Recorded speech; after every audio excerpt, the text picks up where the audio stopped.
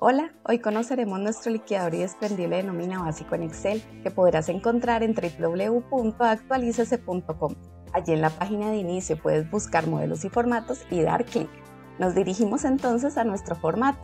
Aquí vamos a hacer uso hoy de la fórmula SI. Es una función muy conocida y popular en Excel y nos permite hacer comparaciones lógicas entre un valor y otro. De esta manera entonces vamos a encontrar el valor del auxilio de transporte de un trabajador elaboró por 25 días.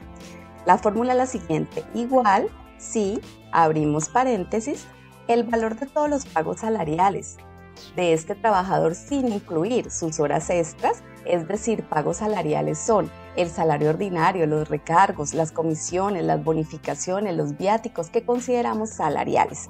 Y este valor es menor o igual a dos salarios mínimos, recordemos que el salario está actualmente en un millón de pesos, por dos, entonces escríbame por favor el valor del auxilio de transporte que tenemos en 117.172 para el 2022, dividido entre 30 días y multiplicado esto por los días que laboró el trabajador, que tenemos que son 25.